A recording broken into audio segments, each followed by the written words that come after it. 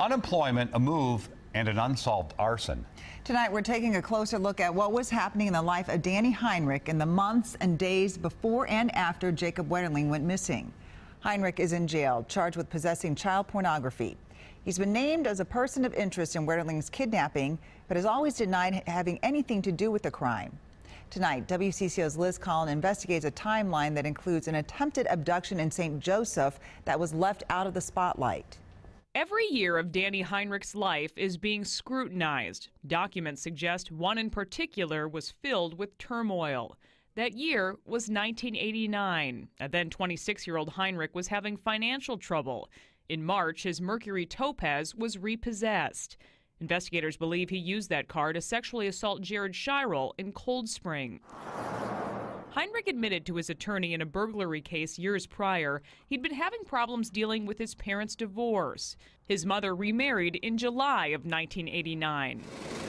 And Heinrich stopped working at Fingerhut in St. Cloud on October 8th of that year, although it's unclear why. There can be trigger events, be they positive or negative, which can kind of direct their behavior. Former Brooklyn Park Police Chief Don Davis was not involved with the investigation into Jacob Wetterling's kidnapping, but in his 35 years in law enforcement, he knows a lot can be learned from the time leading up to a crime. I equate it to shoplifting. The first time an individual shoplifts, they may take one item and it was really traumatizing, but the more they think about it, hey, it was rather easy, I'm going to do that again.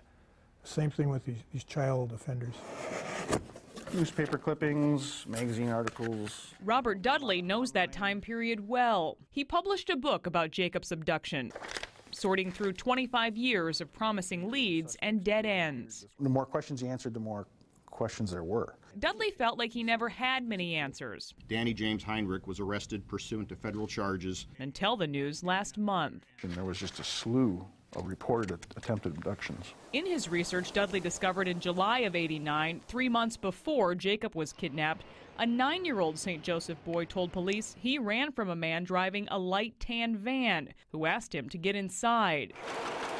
Authorities released this sketch of that man a week after Jacob went missing. If it is Heinrich, it's the only sketch of him with glasses, which he is usually pictured wearing.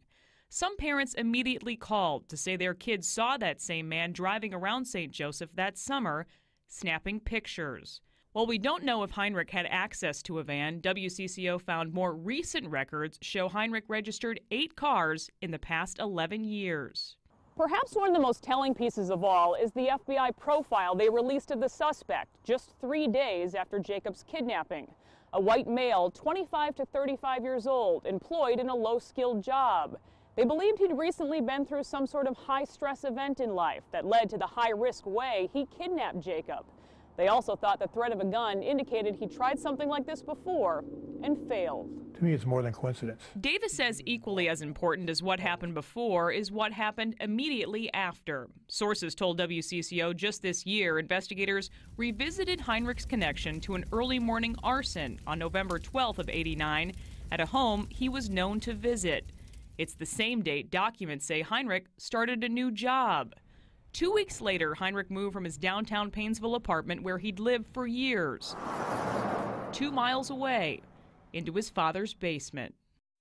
Potential victims of Danny Heinrich have been told by investigators that Heinrich lost 60 pounds before Jacob Wetterling's kidnapping and then put 60 pounds back on in the few months that followed. It's another indication experts say that he may have been trying to avoid detection. Amelia. All right. Thank you, Liz.